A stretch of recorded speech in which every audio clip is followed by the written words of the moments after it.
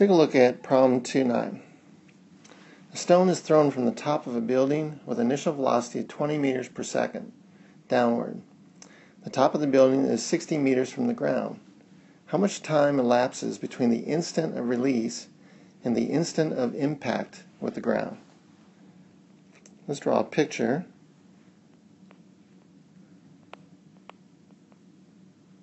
We're going to throw a stone with initial velocity of 20 meters per second down.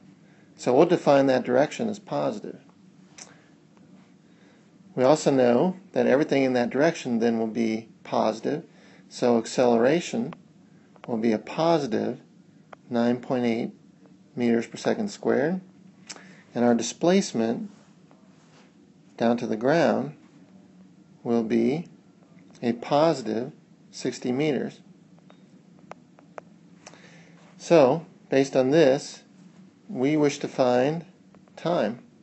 we have three kinematic variables. We're asked for the fourth. We should be able to do it. So we have kinematic equation number four, displacement is equal to initial velocity times time plus one half acceleration times time squared. So we have 60 is equal to 20 times time plus 1 half times 9.8 times time squared. Or putting this in quadratic form, we have 4.9 t squared plus 20t minus 60 equals 0. We identify this as a quadratic equation. We have a, we have b, and we have c as our constants here, our coefficients. So, solution to this type of equation would be t is equal to a negative b plus or minus b squared minus 4ac over 2a. So in this case, this would be a negative 20 plus or minus 20 squared minus 4 times a times c, negative 60, square root over 2 times a, 4.9. So it's a negative 20 plus or minus.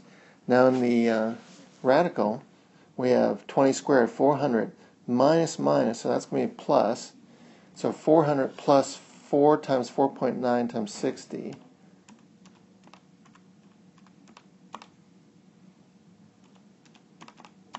is 1576.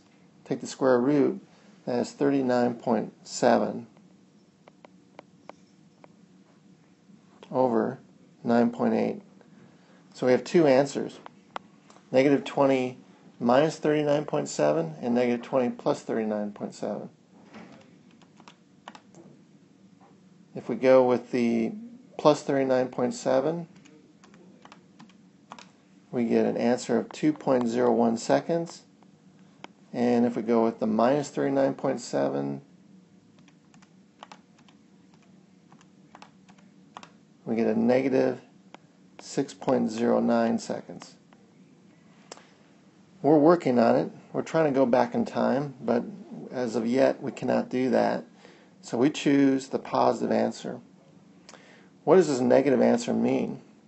Well, if we were to somehow pass our ball all the way back to where it started at ground level, at which point it would have had the same displacement that we want in this problem.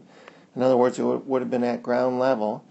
That would have been 6.09 seconds in the past. So if it had been launched from ground level, had gone up to the apex, come back down, pass our point at 20 meters per second, that would have been the time it would have taken to get there. So it does mean something, it's just that it's negative and we're not going to choose it here. So our time to the ground is indeed 2.01 seconds.